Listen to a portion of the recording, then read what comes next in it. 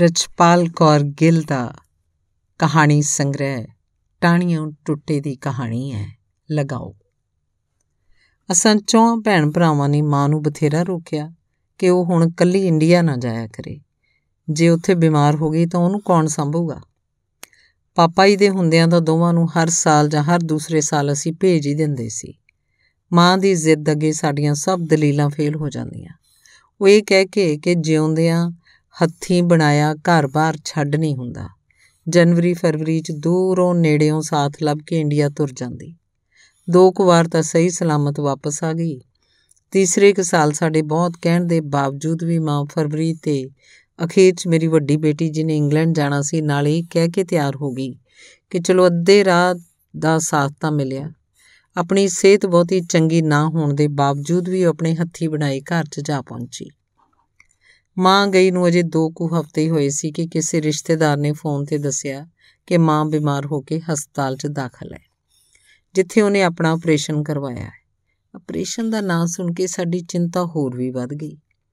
ਮੇਰੀਆਂ March break ਦੀਆਂ ਛੁੱਟੀਆਂ ਆਉਣ ਵਾਲੀਆਂ ਹੋਣ ਕਰਕੇ ਸਭ ਨੇ ਇੰਡੀਆ ਜਾ ਕੇ ਮਾਂ ਨੂੰ ਲਿਆਉਣ ਦੀ ਜ਼ਿੰਮੇਵਾਰੀ ਮੇਰੀ ਲਾ ਦਿੱਤੀ। ਇੱਕ ਹਫ਼ਤਾ ਮਾਰਚ ਦੀਆਂ ਛੁੱਟੀਆਂ ਸਨ। ਇੱਕ ਹਫ਼ਤਾ ਮੈਨੂੰ ਮਾਂ ਨੂੰ ਸਾਂਭਣ ਲਈ ਤਨਖਾਹ ਦੇ ਨਾਲ ਮਿਲ ਗਿਆ ਤੇ ਇੱਕ ਹਫ਼ਤਾ ਹੋਰ ਮੈਂ ਬਿਨਾਂ ਤਨਖਾਹ ਦੇ ਲੈ ਲਿਆ ਤੇ ਇੰਡੀਆ ਜਾਣ ਦੀਆਂ ਤਿਆਰੀਆਂ ਕਰ ਲਈਆਂ। ਸਬਬ ਨਾਲ ਟਿਕਟ ਵੀ ਸ਼ੁੱਕਰਵਾਰ ਜਿਸ ਦਿਨ ਛੁੱਟੀਆਂ ਤੋਂ ਪਹਿਲਾਂ ਪੜਾਉਣ ਦਾ ਆਖਰੀ ਦਿਨ ਸੀ, ਦੀ ਮਿਲ ਗਈ। 2 ਘੰਟੇ ਪਹਿਲਾਂ ਹੀ 에ਅਰਪੋਰਟ ਤੇ ਪਹੁੰਚ ਕੇ ਚੈੱਕ ਇਨ ਕਰਵਾਇਆ ਤੇ ਬਾਕੀ ਸਵਾਰੀਆਂ ਦੀ ਤਰ੍ਹਾਂ ਮੈਂ ਵੀ ਵੇਟਿੰਗ ਏਰੀਏ 'ਚ ਜਾ ਬੈਠੀ। ਅਜੇ ਮੈਂ 2 ਮਿੰਟ ਪਹਿਲਾਂ ਇੱਕ ਖਾਲੀ ਸੀਟ ਤੇ ਜਾ ਕੇ ਬੈਠੀ ਸੀ ਤਾਂ ਮੇਰੇ ਕੋਲ ਆ ਕੇ ਰੰਜਨ ਦੇ ਪਿਓ ਨੇ ਸਤਿ ਸ੍ਰੀ ਅਕਾਲ ਬੁਲਾਈ ਤੇ ਮੇਰੇ ਨਾਲ ਦੀ ਖਾਲੀ ਸੀਟ ਤੇ ਬੈਠ ਗਿਆ। ਉਹਨੂੰ ਮੈਂ ਪਹਿਲਾਂ ਦੋ ਵਾਰ ਆਪਣੇ ਸਕੂਲ 'ਚ ਮਿਲ ਚੁੱਕੀ ਸੀ। ਰੰਜਨ ਸਾਡੇ ਸਕੂਲ ਦੀ special education developmentally D delayed class ਵਿੱਚ ਪੜਦਾ ਸੀ ਤੇ ਮੈਨੂੰ ਦੋ ਵਾਰੀ ਰੰਜਨ ਦੇ ਮਾਪੇ ਨਾਲ ਰੰਜਨ ਦੀ ਮੁਸ਼ਕਿਲ ਬਾਰੇ ਉਹਦੀ ਕਿਵੇਂ ਸਹਾਇਤਾ ਕਰਨੀ ਚਾਹੀਦੀ ਹੈ ਤੇ ਉਹਨੂੰ ਕਿਸ ਕਲਾਸ 'ਚ ਭੇਜਿਆ ਜਾਏਗਾ ਬਾਰੇ ਮੀਟਿੰਗਾਂ ਵਿੱਚ ਇਸ ਕਰਕੇ ਬੁਲਾਇਆ ਜਾਂਦਾ ਸੀ ਕਿ ਰੰਜਨ ਦੇ ਮਾਪੇ ਇੰਗਲਿਸ਼ ਤਾਂ ਬੋਲ ਲੈਂਦੇ ਸੀ, ਪਰ ਬਹੁਤੀਆਂ ਗੱਲਾਂ ਸਮਝਣ ਲਈ ਉਹਨਾਂ ਨੂੰ ਸ਼ਾਇਦ ਔਖਿਆਈ ਹੁੰਦੀ ਹੋਵੇ। ਪਹਿਲੀ ਮੀਟਿੰਗ 'ਚ ਰੰਜਨ ਦੀ ਟੀਚਰ ਤੋਂ ਇਲਾਵਾ ਬੋਰਡ ਦਾ ਸਾਈਕੋਲੋਜਿਸਟ ਸਪੈਸ਼ਲ ਐਜੂਕੇਸ਼ਨ ਦੀ ਕੋਆਰਡੀਨੇਟਰ ਪ੍ਰਿੰਸੀਪਲ ਰੰਜਨ ਦਾ ਪਿਓ ਤੇ ਮੈਂ ਸੀ। ਜਿਸ ਵਿੱਚ ਸਾਈਕੋਲੋਜਿਸਟ ਦੀ ਰਿਪੋਰਟ ਦੇ ਆਧਾਰ ਤੇ ਮਾਪਿਆਂ ਨੂੰ ਦੱਸਣਾ ਸੀ ਕਿ ਰੰਜਨ ਆਟਿਸਟਿਕ ਹੈ। ਇਹਨੂੰ ਡਿਵੈਲਪਮੈਂਟਲੀ ਡਿਲੇਡ ਕਲਾਸ 'ਚ ਪੜਾਇਆ ਜਾਏਗਾ, ਕਿਉਂਕਿ ਰੰਜਨ ਦਾ ਦਿਮਾਗੀ ਵਿਕਾਸ ਪਛੜਿਆ ਹੋਇਆ ਹੈ। ਉਸ ਕਲਾਸ 'ਚ 10 ਬੱਚਿਆਂ ਤੋਂ ਵੱਧ ਬੱਚੇ ਨਹੀਂ ਹੁੰਦੇ। ਟੀਚਰ ਦੇ ਨਾਲ ਇੱਕ ਜਾਂ ਦੋ ਅਸਿਸਟੈਂਟ ਵੀ ਦਿੱਤੇ ਜਾਂਦੇ ਹੈ ਅਜਿਹੀ ਕਲਾਸ 'ਚ ਭੇਜਣ ਲਈ ਰੰਜਨ ਦੇ ਮਾਪਿਆਂ ਦੀ ਸਹਿਮਤੀ ਲਈ ਉਹਨਾਂ ਦੇ ਦਸਖਤਾਂ ਦੀ ਜ਼ਰੂਰਤ ਹੋਣੀ ਲਾਜ਼ਮੀ ਸੀ। ਦਸਖਤ ਕਰਨ ਤੋਂ ਪਹਿਲਾਂ ਰੰਜਨ ਦਾ ਪਿਓ ਮੈਨੂੰ ਪੁੱਛਣ ਲੱਗਾ ਕਿ ਆਟਿਸਟਿਕ ਨੂੰ ਪੰਜਾਬੀ 'ਚ ਕੀ ਕਹਿੰਦੇ ਆ? ਮੈਂ ਉਹਨੂੰ ਕਿਹਾ ਵੀ ਜਿਵੇਂ ਸਾਈਕੋਲੋਜਿਸਟ ਨੇ ਤੁਹਾਨੂੰ ਇਹਦੇ ਲੱਛਣ ਚੰਗੀ ਤਰ੍ਹਾਂ ਦੱਸੇ ਹੈ, ਕਈ ਬੱਚੇ ਬਹੁਤ ਜ਼ਿਆਦਾ ਆਟਿਸਟਿਕ ਹੁੰਦੇ ਆ, ਉਹ ਕਿਸੇ ਗੱਲ ਦਾ ਤਰਕ ਨਹੀਂ ਸਮਝ ਸਕਦੇ, ਉਹਨਾਂ ਦਾ ਦਿਮਾਗੀ ਵਿਕਾਸ ਕਾਫੀ ਪਛੜ ਜਾਂਦਾ ਹੈ। ਕਈ ਬੱਚੇ ਘੱਟ ਆਟਿਸਟਿਕ ਹੁੰਦੇ ਆ, ਉਹਨਾਂ ਦਾ ਵੀ ਕਈ ਵਾਰ ਆਪਣੇ ਆਪ ਤੇ ਕੰਟਰੋਲ ਨਹੀਂ ਹੁੰਦਾ ਤੇ ਕਈ ਵਾਰ ਉਹ ਇੱਕੋ ਗੱਲ ਬਾਰ-ਬਾਰ ਕਰੀ ਜਾਂਦੇ ਆ ਤੇ ਕਈ ਬੱਚੇ ਇੱਕ ਜਗ੍ਹਾ ਟਿਕ ਕੇ ਧਿਆਨ ਕੇਂਦਰਿਤ ਨਹੀਂ ਕਰ ਸਕਦੇ। ਉਹ ਵਿੱਚੋਂ ਟੋਕ ਕੇ ਕਹਿਣ ਲੱਗਾ, ਮੈਂ ਤਾਂ ਸਿਰਫ ਆਟਿਸਟਿਕ ਨੂੰ ਪੰਜਾਬੀ 'ਚ ਕੀ ਕਹਿੰਦੇ ਆ ਜਾਣਨਾ ਚਾਹਣਾ ਬਾਕੀ ਸਭ ਕੁਝ ਦਿਸਦਾ ਹੀ ਹੈ। ਰੰਜਨ ਆਟਿਸਟਿਕ ਕਰਕੇ ਤਾਂ ਉਹਨੂੰ ਕੁਝ ਵੀ ਪੜ੍ਹਨਾ ਲਿਖਣਾ ਚੰਗੀ ਤਰ੍ਹਾਂ ਆਉਂਦਾ ਨਹੀਂ। ਮੈਂ ਬਥੇਰਾ ਸਮਝਾਉਣ ਦੀ ਕੋਸ਼ਿਸ਼ ਕੀਤੀ ਕਿ ਜਿਵੇਂ ਕੈਂਸਰ ਨੂੰ ਇੰਗਲਿਸ਼ ਦੀ ਤਰ੍ਹਾਂ ਪੰਜਾਬੀ 'ਚ ਵੀ ਆਪਾਂ ਕੈਂਸਰ ਹੀ ਕਹਿੰਦੇ ਆ। ਇਸੇ ਤਰ੍ਹਾਂ ਹੋ ਸਕਦਾ ਹੈ ਆਟਿਜ਼ਮ ਵੀ, ਸ਼ਾਇਦ ਪੰਜਾਬੀ 'ਚ ਵੀ ਆਟਿਜ਼ਮ ਹੀ ਹੋਵੇ। ਹੋ ਸਕਦਾ ਇਹਦਾ ਪੰਜਾਬੀ ਸ਼ਬਦ ਕੋਈ ਹੋਵੇ, ਪਰ ਮੈਨੂੰ ਨਹੀਂ ਪਤਾ। ਬਾਕੀ ਸਾਰੇ ਜਣੇ ਮੀਟਿੰਗ 'ਚ ਉਹਦੇ ਦਸਖਤਾਂ ਦੀ ਉਡੀਕ ਕਰ ਰਹੇ ਸਨ ਪਰ ਉਹ ਬਾਰ-ਬਾਰ ਮੇਰੇ ਰਾਹੀਂ ਆਟਿਜ਼ਮ ਦੀ ਪੰਜਾਬੀ ਜਾਣਨ ਦੀ ਖਾਹਿਸ਼ ਪ੍ਰਗਟ ਕਰ ਰਿਹਾ ਸੀ। ਮੀਟਿੰਗ ਦਾ ਸਮਾਂ ਖਤਮ ਹੋ ਚੁੱਕਾ ਸੀ। ਬਾਹਰ ਇੱਕ ਹੋਰ ਬੱਚੇ ਦੇ ਮਾਂ-ਬਾਪ ਆਪਣੀ ਵਾਰੀ ਦੀ ਉਡੀਕ ਕਰਦੇ ਹੋਣ ਦਾ ਇਸ਼ਾਰਾ ਕਰਕੇ ਪ੍ਰਿੰਸੀਪਲ ਨੇ ਉਹਦੇ ਕੋਲੋਂ ਦਸਖਤਾਂ ਦੀ ਮੰਗ ਕੀਤੀ ਤਾਂ ਉਹਨੇ ਮਸੀਂ ਜਾ ਕੇ ਕੰਮ ਪੂਰਾ ਕੀਤਾ। ਦੂਸਰੀ ਮੀਟਿੰਗ ਵਿੱਚ ਰੰਜਨ ਦੇ ਮਾਪਿਆਂ ਨੂੰ ਕੁਝ ਫਾਰਮ ਡਾਕਟਰ ਲਈ ਭਰ ਕੇ ਭੇਜਣ ਲਈ ਦੇਣੇ ਸਨ ਤੇ ਉਸ ਵਾਸਤੇ ਫਿਰ ਮੈਨੂੰ ਬੁਲਾਇਆ ਗਿਆ। ਉਸ ਦਿਨ ਵੀ ਰੰਜਨ ਦਾ ਪਿਤਾ ਹੀ ਮੀਟਿੰਗ ਲਈ ਆਇਆ ਸੀ।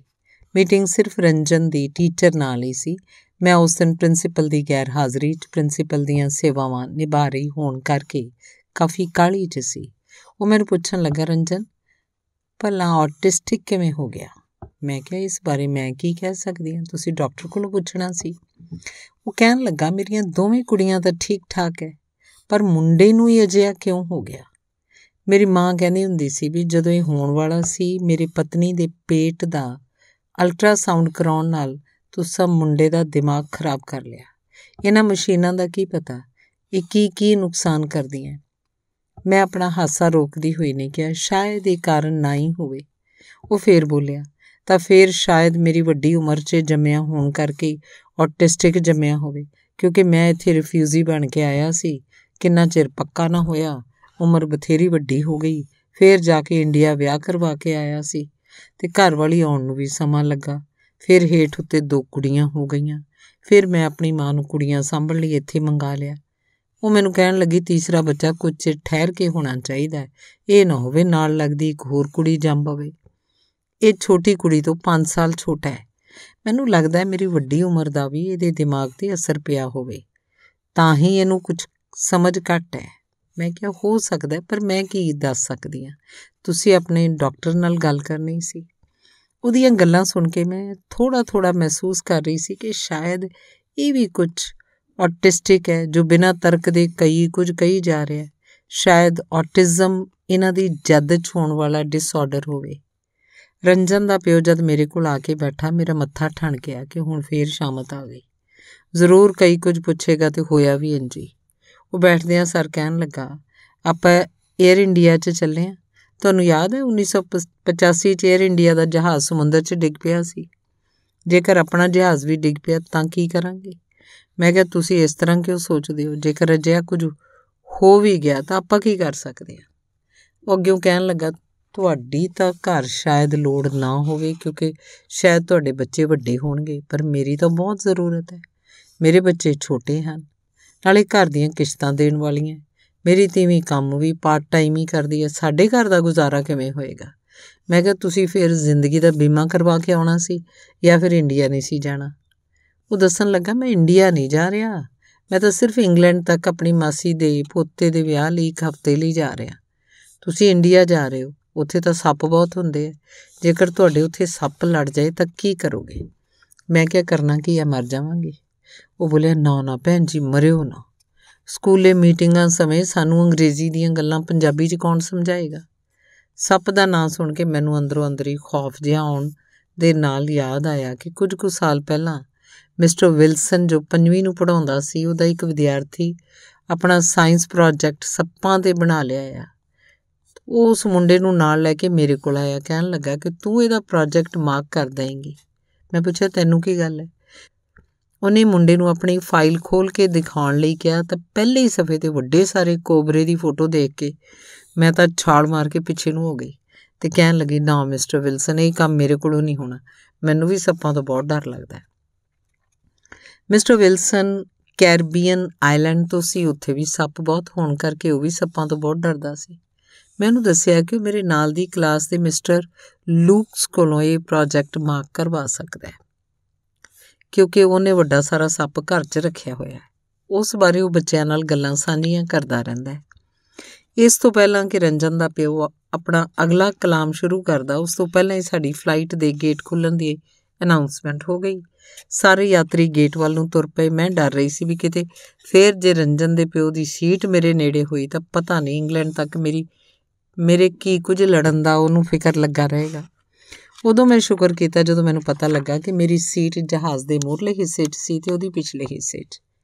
ਤੇ ਮੈਂ ਆਪਣੀ ਸੀਟ ਤੇ ਬੈਠਦਿਆਂ ਸੁੱਖ ਦਾ ਸਾਹ ਲਿਆ। ਇੰਨੇ ਨੂੰ ਫੇਰ ਆ ਗਿਆ, ਕਹਿਣ ਲੱਗਾ, ਭੈਣ ਜੀ, ਤੁਹਾਡੀ ਸੀਟ ਤਾਂ ਮੇਰੇ ਤੋਂ ਬਹੁਤ ਦੂਰ ਹੈ। ਸ਼ਾਇਦ ਜਹਾਜ਼ ਵਾਲੇ, ਵਾਲਿਆ ਇੰਗਲੈਂਡ ਵਾਲਿਆਂ ਨੂੰ ਪਿੱਛੇ ਬਿਠਾ ਦਿੱਤਾ ਹੈ ਕਿ ਪਿਛਲੇ ਦਰਵਾਜ਼ੇ ਰਾਹੀਂ ਇਹਨਾਂ ਨੂੰ ਇੰਗਲੈਂਡ ਜਾਂਦਿਆਂ ਹੀ ਕੱਢ ਦਵਾਂਗੇ। ਮੇਰੇ ਨਾਲ ਦੀ ਸੀਟ ਤੇ ਬੈਠੀ ਔਰਤ ਜਿਹਨੇ ਇੰਗਲੈਂਡ ਜਾਣਾ ਸੀ ਕਹਿਣ ਲੱਗੀ, ਮੈਨੂੰ ਤਾਂ ਪਿੱਛੇ ਨਹੀਂ ਭੇਜਿਆ, ਮੈਂ ਵੀ ਤਾਂ ਇੰਗਲੈਂਡ ਹੀ ਉਤਰਨਾ ਮੈਂ ਉਹਨਾਂ ਦੀਆਂ ਗੱਲਾਂ ਦਾ ਹੁੰਗਾਰਾ ਨਾ ਦਿੱਤਾ। ਹੋਰ ਯਾਤਰੀ ਅੱਗੇ ਪਿੱਛੇ ਆਪਣੀਆਂ ਸੀਟਾਂ ਲੱਭਦੇ ਹੋਏ ਫਿਰ ਰਹੇ। ਹੋਣ ਕਰਕੇ ਉਹਨੂੰ ਰਸਤੇ 'ਚ ਖੜੇ ਹੋਣਾ ਆਸਾਨ ਨਾ ਲੱਗਾ ਤੇ ਉਹ ਚਲਾ ਗਿਆ। ਇਹਨੇ ਨੂੰ 60 ਜਾਂ 65 ਕੁ ਸਾਲਾਂ ਦੀ ਬਜ਼ੁਰਗ ਔਰਤ ਇੱਕ ਹੱਥ 'ਚ ਆਪਣਾ ਹੈਂਡਬੈਗ ਫੜੀ, ਦੂਜੇ ਹੱਥ 'ਚ ਪਰਸ ਦੇ ਨਾਲ-ਨਾਲ ਇੱਕ 3-4 ਸਾਲ ਦੀ ਕੁੜੀ ਜੋ ਉੱਚੀ-ਉੱਚੀ ਰੋ ਰਹੀ ਸੀ। ਨੂੰ ਘਸੀਟਦੀ ਹੋਈ ਸਾਡੀ ਮੋਹਰਲੀ ਸੀਟ ਤੇ ਆ ਬੈਠੀ। ਕੁੜੀ ਬਾਰ-ਬਾਰ ਛੁੱਟ ਕੇ ਬਾਹਰ ਨੂੰ ਭੱਜਣ ਦੀ ਕੋਸ਼ਿਸ਼ ਕਰ ਰਹੀ ਸੀ। ਬਜ਼ੁਰਗ ਔਰਤ ਜੋ ਆਪਣਾ ਪਰਸ ਸੀਟ ਤੇ ਰੱਖ ਕੇ ਤੇ ਆਪਣਾ ਹੈਂਡਬੈਗ ਲੰਘਣ ਵਾਲੇ ਰਾਹ 'ਚ ਹੀ ਰੱਖ ਕੇ ਕੁੜੀ ਨੂੰ ਘੁੱਟ ਕੇ ਫੜਨ ਦੀ ਕੋਸ਼ਿਸ਼ ਵਿੱਚ ਸੀ, ਰਸਤੇ 'ਚੋਂ ਅੱਗੇ ਲੰਘ ਕੇ ਜਾਣ ਵਾਲੇ ਇਥ ਨੌਜਵਾਨ ਨੇ, ਇੱਕ ਨੌਜਵਾਨ ਨੇ ਉਹਦਾ ਹੈਂਡਬੈਗ ਉੱਪਰ ਸਮਾਨ ਰੱਖਣ ਵਾਲੇ ਬਕਸੇ 'ਚ ਰੱਖ ਦਿੱਤਾ। ਪਰ ਬਜ਼ੁਰਗ ਔਰਤ ਆਪਣੇ ਪਰਸ 'ਚੋਂ ਬਿਸਕਟ ਕੱਢ ਕੇ ਕੁੜੀ ਨੂੰ ਦੇ ਕੇ ਚੁੱਪ ਕਰਾਉਣ ਦੀ ਨਾਕਾਮ ਜਦੋਜਹਿਦ ਕਰ ਰਹੀ ਸੀ। ਧੰਨਵਾਦ। ਚੱਲਦਾ।